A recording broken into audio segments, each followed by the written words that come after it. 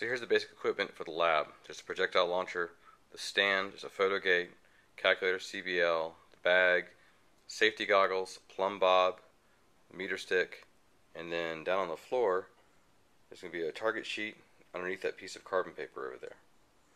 So that's the basic setup. So here's the ball launcher. Photo gate's right over the top of it. And then the CBL unit is connected by a cable up to the photo gate itself.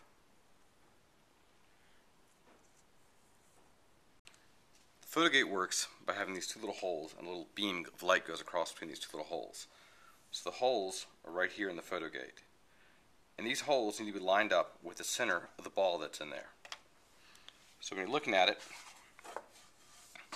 it needs to be lined up right across the width of the ball itself.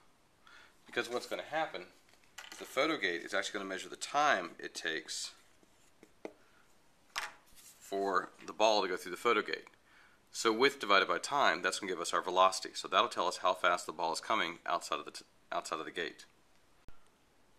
So to measure the range, I've got my plumb bob line marked, the center of the ball.